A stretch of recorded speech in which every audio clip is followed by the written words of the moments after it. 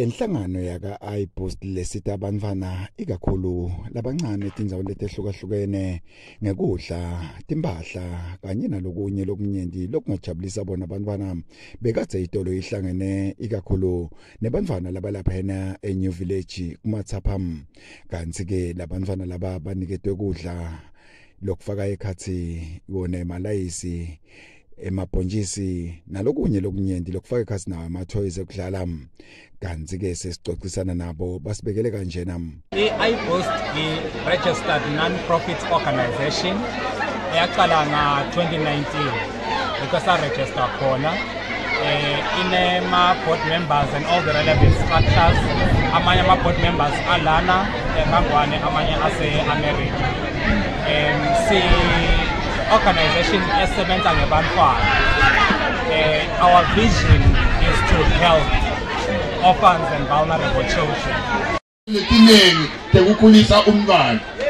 So eh kwakunengoma thina sasiyihlabela eh e-primary. Mina nje e-primary kube babuta ukuthi ngibani lokade ukuthi bengifundza kuphi aco- acombelele ngimpe 50 rand. Manje Befika lapha kaThabethe. Wakhanzisa nalomkhulu Thabethe nomunye nokuthanda abantwana. Kangangokuba ngabemukela abantwana, ngabemukela baka Adu, iBoost, wasencheko lapha ekhaya. Sabe sesiveta ukuthi kunendzawo lehambe sayithanza thina. Sayithanzela ukuthi kuphelele abantwana bendlunkulu. Ngiyakuthanza kubonga kakhulu baka iBoost ngokuthi basisupporte ngale kit labasiphe yona. Eh kuyinto lenhle kizi kuyasijabulisa.